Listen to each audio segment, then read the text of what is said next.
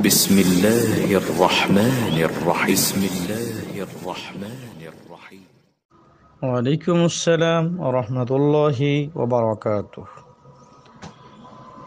إن الحمد لله نحمده ونصلي على رسوله الكريم أما بعد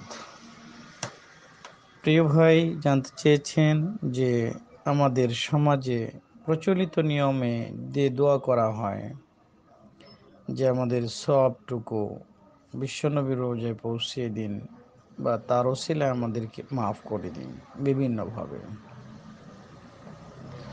রাসুল্লাহ সাল আলাইহি ওয়াসাল্লাম এমন কোনো পদ্ধতি বা এমন পদ্ধতিতে করেছেন এমনটা পাওয়া যায় না। তবে কোনো ব্যক্তির সৎ আমলের ওছিলা জীবিত ব্যক্তির জন্য জীবিত ব্যক্তির সৎ আমলের ওছিলা যেমন রাসুল্লাহ সাল্লাম জীবিত অবস্থায় তার নেক আমলের ওসিলা করতেন এবং তিনার রুফাতের পর ইবনে আব্বাস দোয়া করেছেন যে ইবনে আব্বাসের আমলের ওছিলায় দোয়া করেছেন।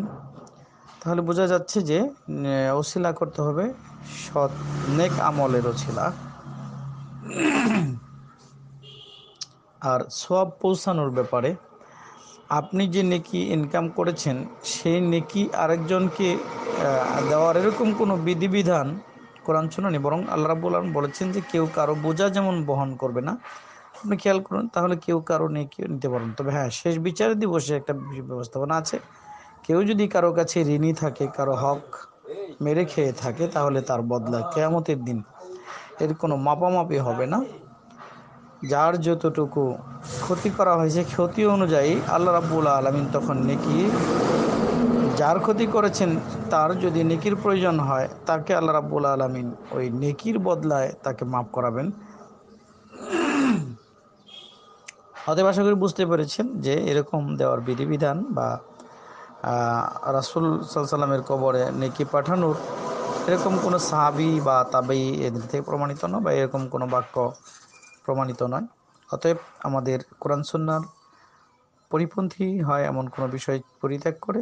কোরআন সন্না যেভাবে দোয়ার কথা এসেছে সেইভাবে দোয়া করা এবং নেক আমলকে ওসিলা করা উচিত। আশা করি বুঝতে পেরেছেন। আসসালামু আলাইকুম রহমতুল্লাহি